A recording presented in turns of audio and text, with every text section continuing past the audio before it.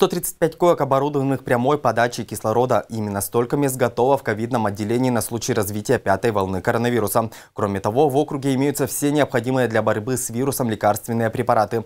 Во время прямого эфира на телеканале «Север» заместитель губернатора Андрей Блащинский и руководитель профильного департамента Елена Левина рассказали о готовности региона к новому штамму омикрону. Подробности у моей коллеги Ольги Русул.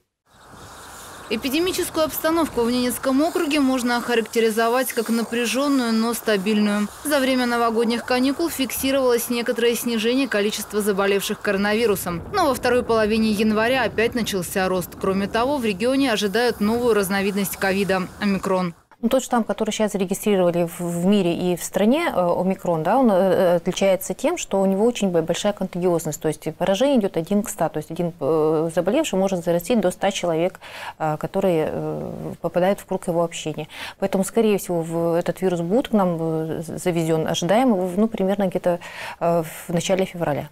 Ожидается, что с приходом омикрона в округ эпидемическая ситуация ухудшится, так как эта разновидность вируса поражает другие слои населения, нежели уже привычный штамм Дельта. Следует отметить, что э, если у нас в более ранние периоды мы говорили о том, что э, группа поражения – это лица, которые имеют хронические заболевания и лица старшей возрастной группы, то сейчас, если мы говорим про микрон, то микрон чаще всего поражает э, молодых людей, то есть это детки, детское население, которое у нас, к сожалению, самое, не, не прививается еще, да, то есть как бы не, не, нет еще вакцины у нас, чтобы их защитить. Ну и та же самая группа декретированная, которая имеет хронические заболевания, плюс беременные женщины.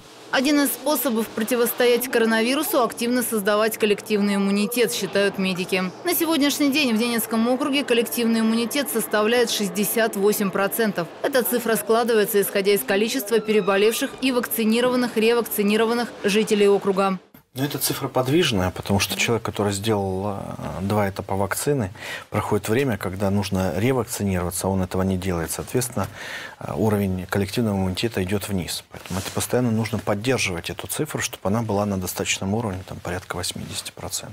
Между тем, по словам руководителя профильного департамента Елены Левиной, от нового штамма коронавируса эффективно может защитить только вакцинация. Из существующих на территории России препаратов лучше всего справляется с задачей «Спутник Ви». Однако не стоит пренебрегать и другими мерами профилактики, такими как, например, ношение маски в общественных местах. Но если все же омикрон зайдет в регион и начнет устанавливать свои порядки, то в ковидном отделении готовы встретить его во всеоружии. В прошлом году запустили новую кислородную станцию, которая позволила нам 135 койко-мест, на постоянно подключенных к кислороду, организовать.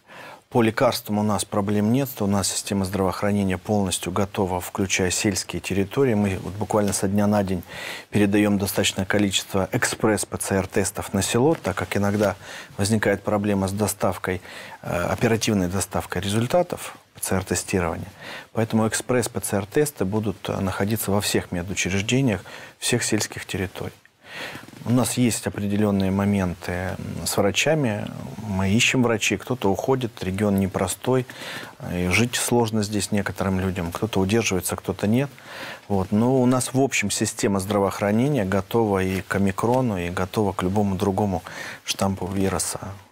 Несмотря на готовность к любому развитию событий, если в округ зайдет новый штамм коронавируса, то возможно ужесточение мер эпидемической безопасности и введение новых. Ольга Русул, Вадим Стасюк, телеканал «Север».